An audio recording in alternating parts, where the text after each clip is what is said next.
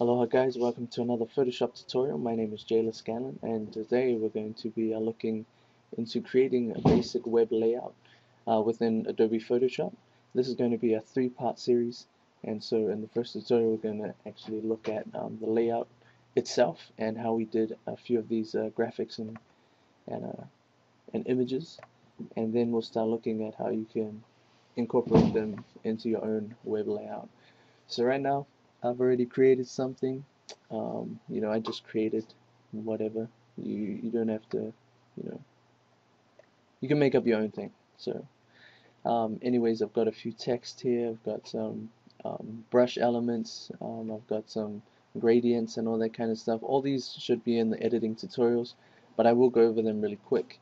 Uh, one thing to notice though is that for your assignment um, if you click up here in image and if you go to canvas size um, it will show you pixels that we have 800 by 600 um, pixels for our dimensions and that's what the assignment will be.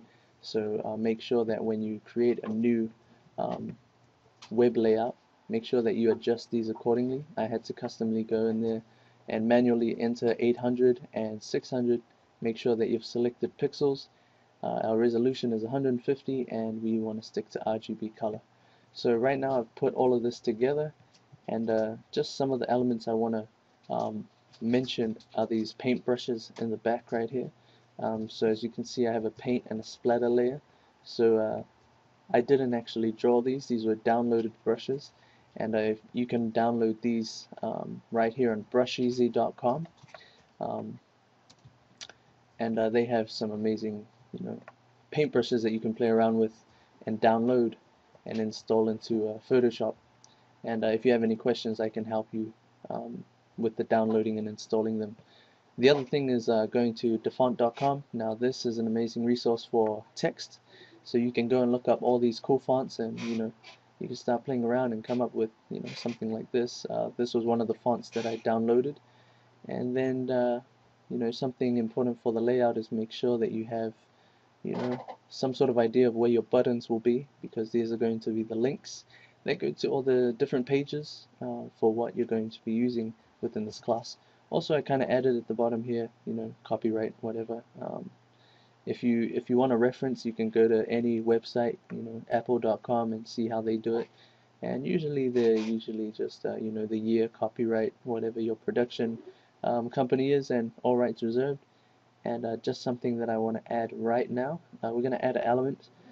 Um, we're going to add this little shape tool you click it and then if you uh, go up to the, the top tool panel you can actually scroll down and look at some of the shapes and lo and behold there's a copyright shape that we can actually click.